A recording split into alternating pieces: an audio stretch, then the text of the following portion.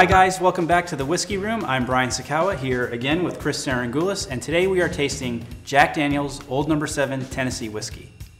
So Jack Daniels has a little bit of a stigma to it, I would say. It's, you know, your rock star whiskey, it's the whiskey that the bikers drink, it's the whiskey that you mix with Coke.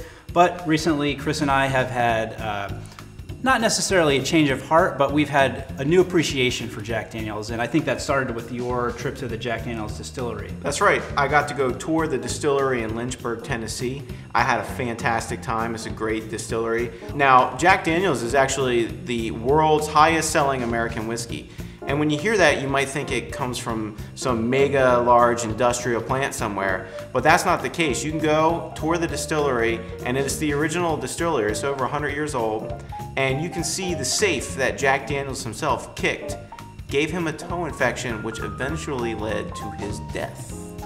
Jack Daniels is a lower proof whiskey. We're at 80 proof, so it's an easy sipper. And to me, Jack Daniels has a characteristic flavor quality to it. We're talking uh, very pre predominant vanilla with some backgrounds of cocoa, and you can also taste some of the uh, sugar maple charcoal filtering that they do, which also gives a nice little mellow, mellowing to the flavor. Right, the charcoal filtering definitely helps mellow the whiskey out. As you say, it's a very easy sipping whiskey. I always get a little bit of a sour note when I first taste it, and then um, very smooth, but every so often at the very end, after a sip, I get a little bit of a peanut butter flavor. I don't know if, if everyone tastes that.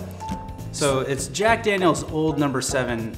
I've always wondered what Old Number 7 means, um, and I don't think anyone really knows what it means. Well, I was on the tour, I asked the tour guide, they actually don't know. It could be a lost recipe, it could be the seventh mash bill that they've tried when they came up with the uh, Jack Daniels. They're not sure.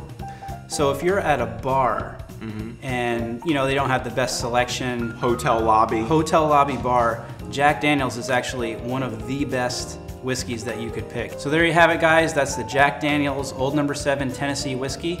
If you happen to have any preconceived notions about this whiskey, we would invite you to actually give it a try and uh, let us know what you think. Uh, we're definitely Jack Daniels fans and uh, we want to know what you think, so leave a comment.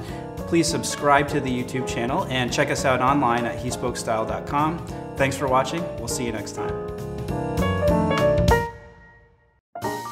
and eventually killed himself.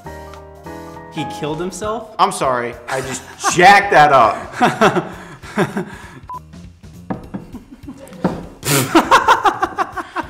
okay. Bam, it doesn't get better than that.